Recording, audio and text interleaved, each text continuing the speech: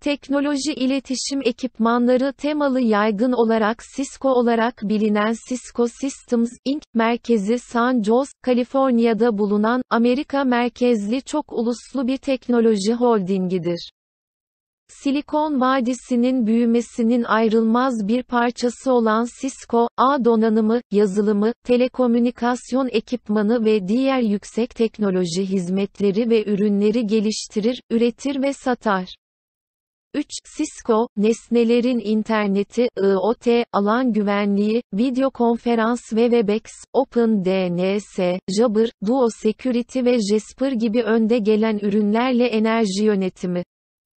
Cisco, 49 milyar dolarlık geliri ve yaklaşık 80 bin çalışanı ile Fortune %63. sırada yer alan dünyanın en büyük teknoloji şirketlerinden biridir. 4. Cisco Systems, Aralık 1984'te. Stanford'daki bilgisayarları birbirine bağlamada etkili olan iki Stanford Üniversitesi bilgisayar bilimcisi Leonard Bosek ve Sandy Lerner tarafından kuruldu. Uzak bilgisayarları çok protokollü bir yönlendirici sistemi üzerinden bağlamak için kullanılan yerel alan ağı LAN kavramına öncülük ettiler. Şirket 1990'da halka açıldığında Cisco'nun piyasa değeri 224 milyon dolardı. 2000 yılında dot-com balonunun sonunda, bu miktar 500 milyar dolara yükselmiş ve Microsoft'u dünyanın en değerli şirketi olarak geride bırakmıştı. 5-6 Aralık 2021 itibariyle, Cisco'nun yaklaşık 267 milyar dolarlık bir piyasa değeri vardı. 7 Cisco hissesi CSCO 8 Haziran 2009'da Dow Jones Industrial Average'a eklendi ve ayrıca S&P 500 endeksi, Russell 1000 endeksi, NASDAQ-100 endeksi ve Russell 1000 büyüme hisse senedi endeksine dahil edildi. 8-9-2021'de Fortune, çalışan memnuniyeti anketine dayalı olarak yıllık çalışılacak en iyi 100 şirket listesinde Cisco'yu ikinci yıl için bir numaraya yerleştirdi. 10-11 LinkedIn ve Glassdoor ayrıca Cisco'yu 2021 ve son yıllarda çalışmak için en iyi yer olarak gösterdi.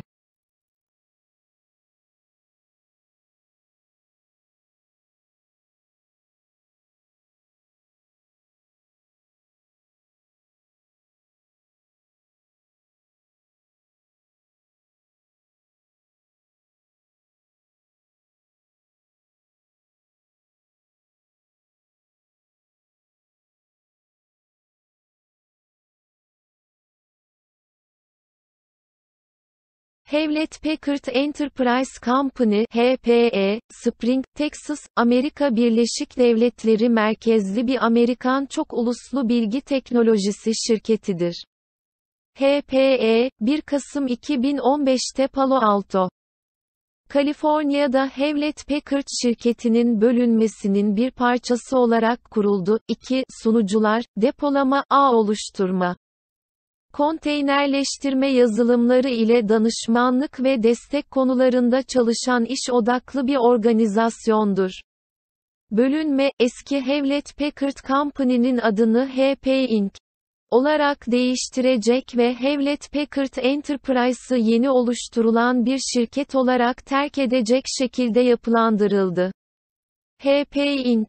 Eski HP'nin kişisel bilgisayar ve baskı işinin yanı sıra hisse senedi fiyat geçmişini ve Hewlett Packard için orijinal NYSE senedi sembolünü elinde tuttu, kurumsal.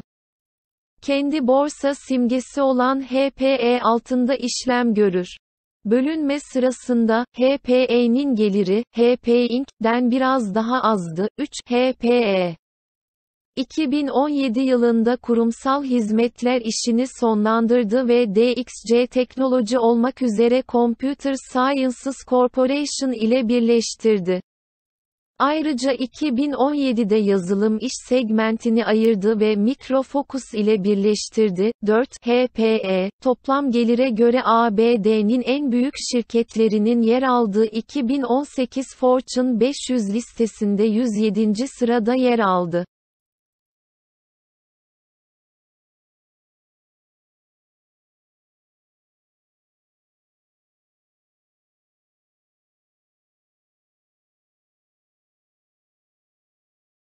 Motorola Solutions, Inc., 2011 yılında cep telefonu bölümünün Motorola Mobility'ye bölünmesinin ardından Motorola, Inc., in yerini alan bir Amerikan video ekipmanı, telekomünikasyon ekipmanı. Yazılım, sistem ve hizmet sağlayıcısıdır. Şirketin merkezi Chicago, Illinois'dedir.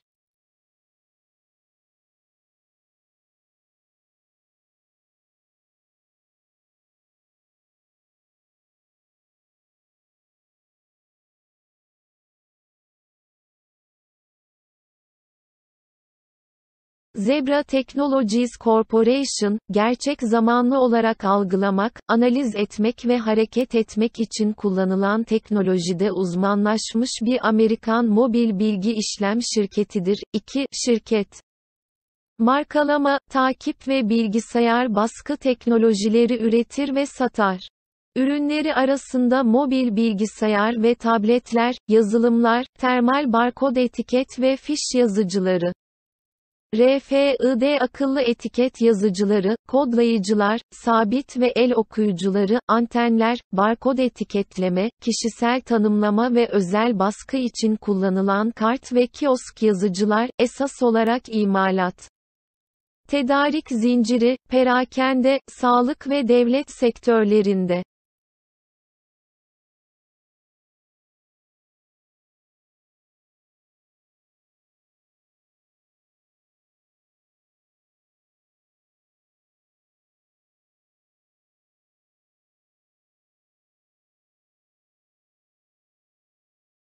Juniper Networks, Inc., merkezi Sunnyvale, Kaliforniya'da bulunan çok uluslu bir Amerikan şirketidir. Şirket, yönlendiriciler, anahtarlar, ağ yönetim yazılımı, ağ güvenliği ürünleri ve yazılım tanımlı ağ teknolojisi dahil olmak üzere ağ ürünleri geliştirmekte ve pazarlamaktadır. Şirket 1996 yılında Pradeep Sindhu tarafından kuruldu ve Scott Kriens Eylül 2008'e kadar ilk CEO olarak kaldı. Kriens, Juniper'ın erken pazar başarısının çoğuyla itibar kazandı. 2. 1999'da halka açılmadan önce risk sermayedarlarından ve telekomünikasyon şirketlerinden birkaç tur finansman aldı. Juniper, 2000 yılına kadar yıllık gelirde 673 milyon dolara ulaştı. 2001 yılına gelindiğinde, Cisco'nun hedefine meydan okuyarak çekirdek yönlendirici pazarında %37'lik bir paya sahipti, bir zamanlar hakim pazar payı.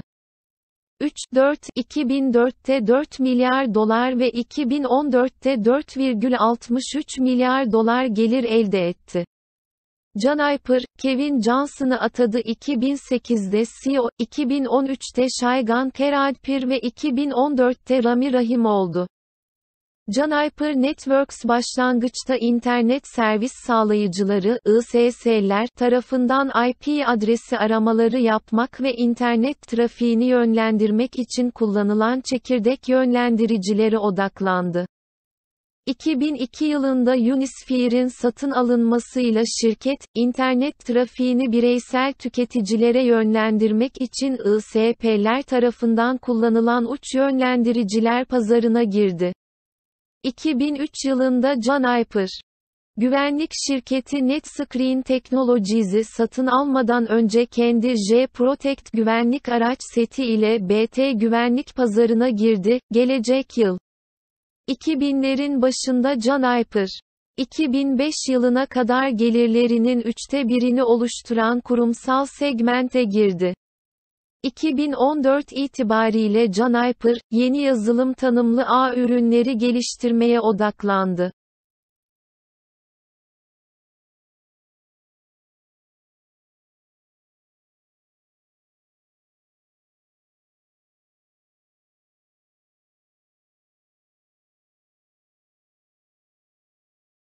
Ciena Corporation, Hanover, Maryland merkezli bir Amerikan telekomünikasyon ağ ekipmanı ve yazılım hizmetleri tedarikçisidir. 4, 5, 6 7. 8. The Baltimore Sun şirketi optik bağlantıda dünyanın en büyük oyuncusu olarak tanımlıyor. 9.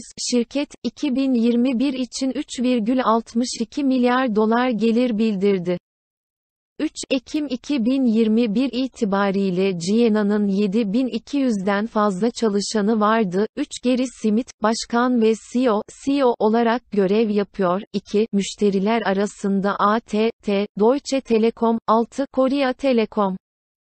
10 Sprint Corporation, 11 ve Verizon Communications bulunmaktadır.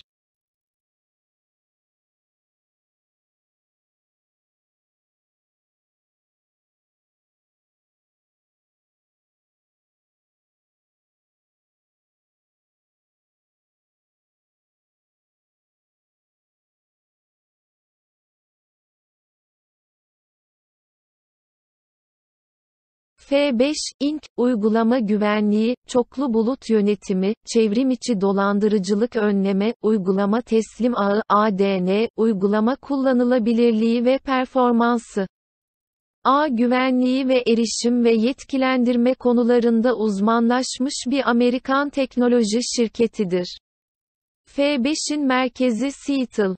Washington'da F5 tavırdadır ve 43 ülkede 2 ek 75 ofisi 2 ile hesap yönetimi, küresel hizmet desteği, ürün geliştirme, üretim, yazılım mühendisliği ve idari işlere odaklanmaktadır.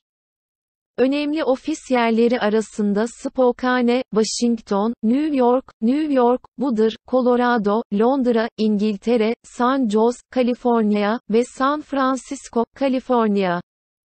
2. F5'in başlangıçta sunduğu uygulama teslim denetleyicisi ADC teknolojisi 3 ancak uygulama katmanı, otomasyon, çoklu bulut ve güvenlik hizmetlerine genişletildi.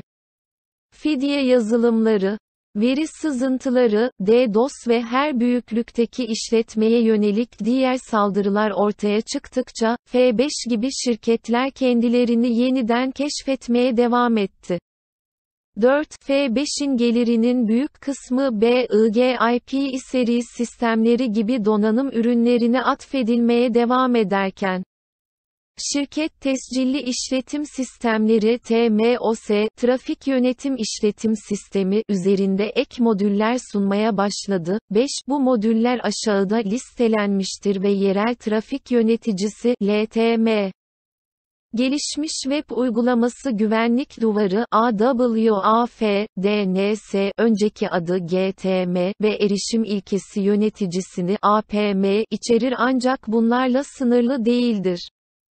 Bunlar, BIG-IP çalıştıran kuruluşlara yük dengeleme, Katman 7 uygulama güvenlik duvarları, çoklu oturum açma Azure AD, Active Directory, LDAP ve Okta için ve kurumsal düzeyde VPN'ler dağıtma olanağı sunar. BIG-IP geleneksel olarak bir donanım ürünüyken, F5 şimdi BIG-IP Virtual Edition olarak markaladıkları sanal bir makine olarak sunuyor. BIG-IP Virtual Edition buluttan bağımsızdır ve dağıtılabilir genel ve veya hibrit bulut ortamında şirket içi. F5'in müşterileri arasında Microsoft, Oracle, Alaska Airlines, Tesla ve Meta bulunmaktadır.